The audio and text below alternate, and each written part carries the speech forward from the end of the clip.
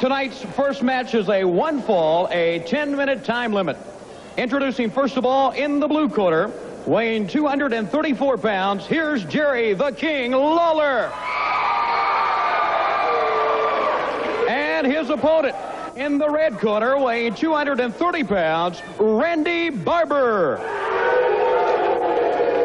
Tonight's referee is Tommy Young. One fall, 10 minutes. Okay, we heard the comments now from uh, Tony Schiavone, our uh, ring announcer, Tommy Young now, checking with both uh, Randy Barber and uh, the king himself, Jerry Lawler. One fall, 10-minute time limit at the bell. They move out, collar and elbow. And it's Barber bulling Lawler back into the turnbuckle. Good clean break by Barber. Steps back. Lawler circles his man, watches him. Barber started to get almost a little bit careless there, and uh, Again, he pulls Lawler back into the turnbuckle. And now it's uh, Barber with forearms across the back, and it's Lawler backing away. Lawler, with a look of consternation on his face, backs off into the far corner. What we're viewing, of course, uh, on this program of Pro Wrestling USA, the major leagues of professional wrestling representatives here uh, from both the AWA and the NWA. We'll be seeing the AWA uh, National Tag Team Champions, the Road Warriors, managed by Paul Ellering later on in the program. Randy Barber delivering some knees to the midsection. Uh, hip toss has uh, Lawler down. Barber misses with a drop kick. Lawler stepped back out of the way and now goes to a hip lock takedown. Tommy Young alertly checking those shoulders as Barber was trying to uh, get a pinfall if he could.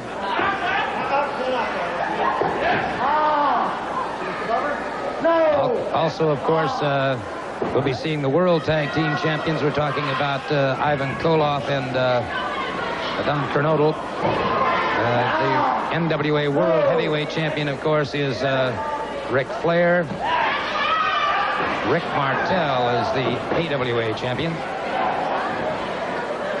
Keeping the side headlock now on Barber. Barber getting some extra leverage, and Tommy Young very alertly moving around behind him. And so Lawler paying him back in spades uh, for those tactics. By the way, uh, rules do vary uh, in the AWA and in the NWA, but uh, in Pro Wrestling USA, uh, over the top rope. If you uh, throw a man over the top rope, automatic disqualification. The pile driver is a disqualification. If you deliberately run a man into the ring post, not the turnbuckle, but the post, that too is a disqualification. Wrestlers have a 10 count to get back in the ring and a 5 count to break. Top wrist lock now by uh, Randy Barber on uh, Lawler. Lawler with a wide stance. During the next hour, we're going to be seeing the very finest wrestling competitors in the world today. Lawler catches one right to the head. Barber smashes another one home to the prefrontal lobe, and it is uh, Lawler in trouble now as he's rocked back, and Barber senses he's got something going, but now what he's got going is Jerry Lawler. And when the going gets tough, the tough get going, and that's exactly what Lawler's doing now. Lawler down into the uh, throat of uh, Randy Barber, has him on the canvas. Lawler up on that second rope.